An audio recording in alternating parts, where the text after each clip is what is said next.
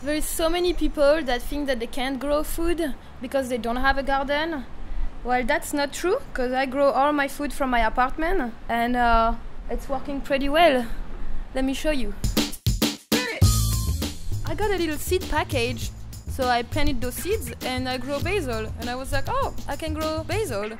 Great. You know, I just started with one thing and it just become more and more and more, and I can't stop now.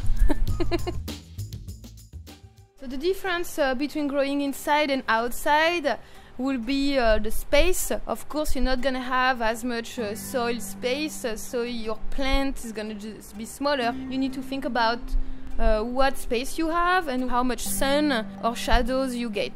Like in my apartment, I don't get sun all day. I have it usually in the morning uh, until uh, one o'clock. Lettuce, lettuce is good. It doesn't need too much direct sunlight all day, so that will grow well on the inside of your window.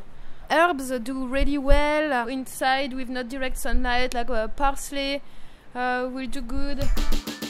My advice to people that want to start growing their food indoor would be first to grow something that you like to eat.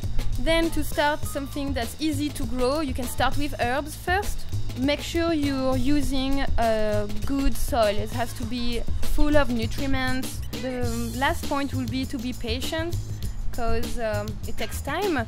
But if you uh, take care of it and love them every day, you know things will grow uh, bigger and bigger.